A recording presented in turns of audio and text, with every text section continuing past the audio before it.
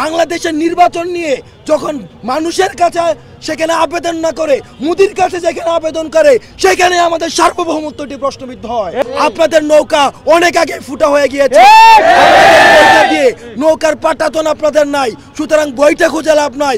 মুদির বইটা দিয়ে বাংলাদেশের নৌকা চালাবেন, এই আশা আপনারা আর করে দেখুন, এই যে বিপ্লবকে ঘিরে গণ যে ছাত্র নাগরিকের অংশগ্রহণে যে গণ অভ্যুত্থানটি হয়েছে গণজাগরণটি হয়েছে, যে রিভাইভাল বা রিভার্ট বা আপনাকে নতুন রেনেসান্সের মধ্যে প্রবেশ করেছে, সেটিকে আমরা দেখেছি দেশীয় এবং আন্তর্জাতিক সম্প্রদায় বিভিন্ন প্রপাগান্ডা এখানে ছড়াচ্ছে এবং রাজনৈতিক দ্বন্দ্বকে তারা সাম্প্রদায়িক দ্বন্দ্ব হিসেবে তারা আন্তর্জাতিক গণমাধ্যমে উপস্থাপন করার চেষ্টা করা হচ্ছে।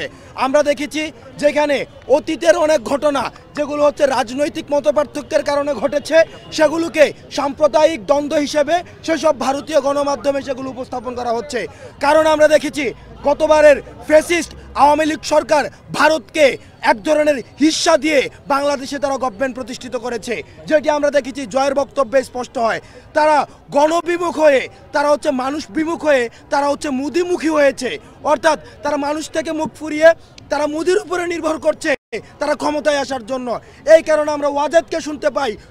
আমরা দেখছি যে সচিব ওয়াজেদ বলছে যে উনি মুদিকে রিকোয়েস্ট করছে যে যেন দ্রুততম সময়ের জন্য নির্বাচনের ব্যবস্থা করে চিন্তা করেন গণ মানুষ থেকে ওনারা কতটা বিচ্ছিন্ন, ছাত্র থেকে ওনারা কতটা বিচ্ছিন্ন, জনতা থেকে ওনারা কতটা নিচ্ছি- বিচ্ছিন্ন, যে ওনারা মুদিকে রিকোয়েস্ট করতে হয় যে আগামী নির্বাচন করে দেওয়ার জন্য। অর্থাৎ এটা থেকে প্রমাণ হয় যে দুই হাজার সালের যে ইলেকশন চোদ্দ সালের যে ইলেকশন আঠারো সালের যে ইলেকশন এবং পরবর্তীতে যে চব্বিশ সালের যে ইলেকশন সেই ইলেকশনগুলো যে প্রশ্নবিদ্ধ ছিল এবং মুদির উপরে যে দেশটাকে টেন্ডার দিয়ে, মুদি হচ্ছে একটি আদর্শ, এই আদর্শের উপরে যে দেশটা টেন্ডার দিয়ে এতদিন পর্যন্ত চালিয়েছে, সেটি তখন প্রমাণিত হয়।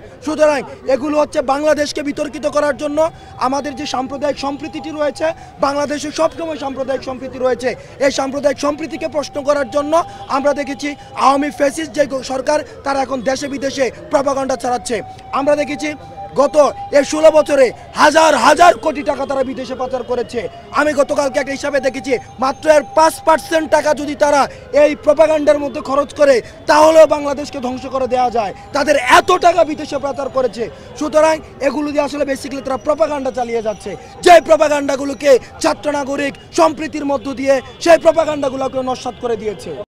বাংলাদেশের নির্বাচন নিয়ে যখন মানুষের কাছে সেখানে আবেদন না করে মুদির কাছে যেখানে আবেদন করে সেখানে আমাদের সার্বভৌমত্বটি প্রশ্নবিদ্ধ হয়।